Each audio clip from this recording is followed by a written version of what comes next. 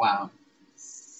Ray, I'm not gonna say your last name because you might get mad when you hear this and try to sue me.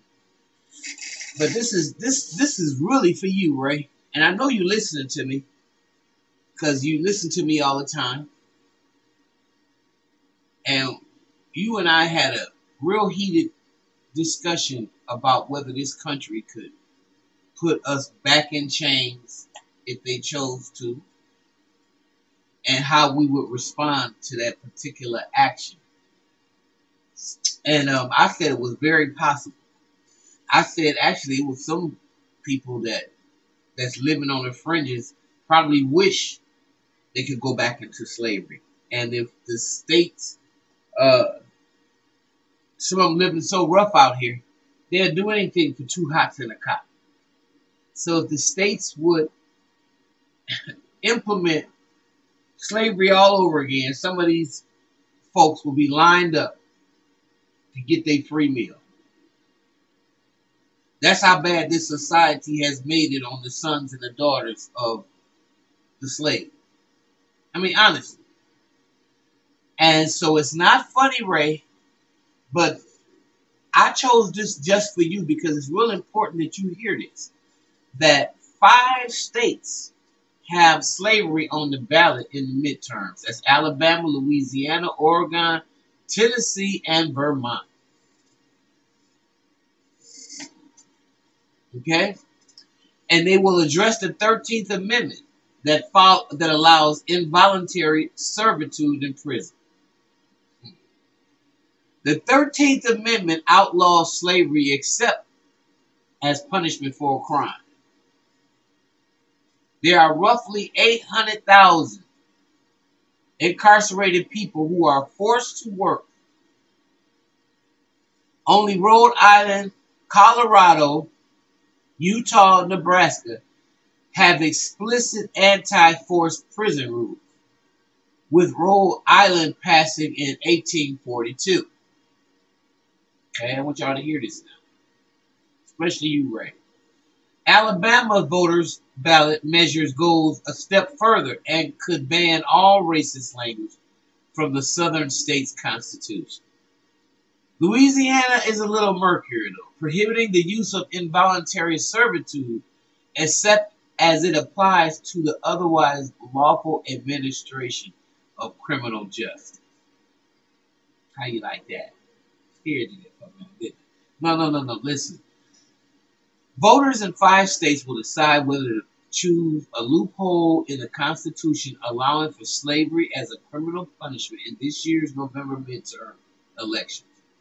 Involuntary servitude was made morally illegal by the 13th Amendment in 1865, except for people who are serving out criminal sentences. The slavery loophole has been a central focus in prison reform and mass incarceration activism for them. I'm sorry. On November 8th, residents of Alabama, Louisiana, Oregon, Tennessee, and Vermont will vote on ballot measures in their respective states to close that loophole. Vermont was the first state to ban slavery when it was a practice outlawed in 1777. But its state's constitution has an exception for people bound by law for the payment of debts, damages, fines, costs, or the like. It is one of 20 states with such clauses. Colorado, Utah, Nebraska passed similar ballot measures in 2018. And five other states, New Jersey, California, Texas, Florida, and Ohio, are gearing up for such a vote as well. Rhode Island is the only state to have banned forced labor as punishment for a crime when it was written into the state constitution in 1842. So, each of the five ballot initiatives in its November ballot could cost could see the prison loophole closed in those states. In Louisiana, however, Louisiana is a hard state. The outcome will be a little murkier. Its ballot initiative prohibits the use of involuntary servitude, except as it applies to other, otherwise lawful administration of criminal justice. Hmm. Republican Louisiana State Representative Alan Seabaugh told PEW Research that he believes the measure technically allows slavery and will have little impact on state law. It is essentially just symbolic. It says what's already on the books, although potentially worse, Seabaugh told an outlet. Alabamians, Alabamans will go a step further, however, and vote on whether to remove all racist language from their constitution. Closing the prison loophole in the 13th Amendment would be a massive victory for today's civil rights movement.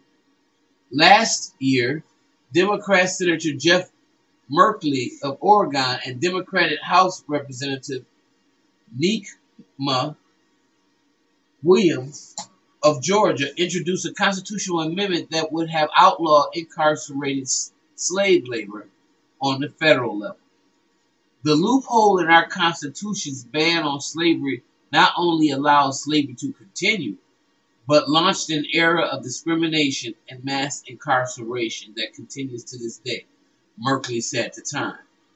Out of roughly 1.2 million people in the federal and state prisons, approximately 800,000 are forced to work for as little as 50 cents per hour, and in some cases, for nothing at all. Data comes from a June 2022 report by the American Civil Liberties Union.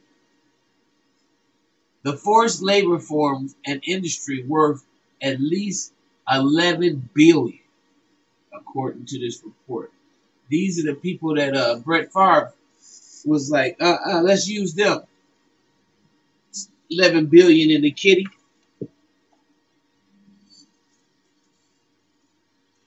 Okay, Ray, I thought I'd scare you for a minute. But that was a very interesting article, and it's interesting to see how the people of uh, these states are going to vote. Okay? These are the referendums on forced labor prisons.